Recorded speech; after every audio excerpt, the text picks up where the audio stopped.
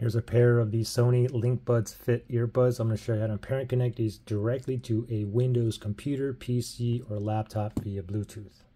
So the first thing we want to do is go to your Bluetooth settings on your computer. So we can go to the search bar down here, and then we can type in Bluetooth, and there we go, Bluetooth and other device devices settings. So I'm going to select that right there.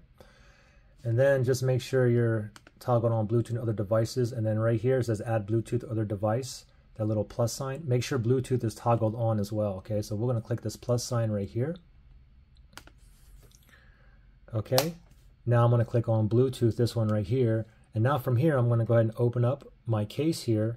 And if it's in pairing mode, it's gonna show up right away, okay?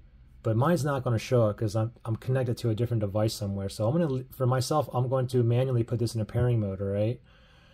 So the lid's open here and you have that button back here. Press and hold that button and just wait till it starts blinking blue and then let go. All right, so button here, ready? Press and hold. Now keep holding. Still holding here. Still, oh, it's blue. See it blinking blue? Go ahead and let go. Now we just manually put it in pairing mode, all right? Now this little spinny thing here is still searching for a device that's in pairing mode. And let's see. Oh, I just, oh, there it is. link LinkBuds Fit. Let's go ahead and Tap that right there. It says connecting. Your device is ready to go. We can go ahead and select on done right there. And then you can see the LinkBuds Fit is right there. It's connected for voice, music, and I have 100% battery juice on here. Now, if you had any kind of issues pairing or connecting, you can always factory reset these. If you need to do that, look in the link below in the description area.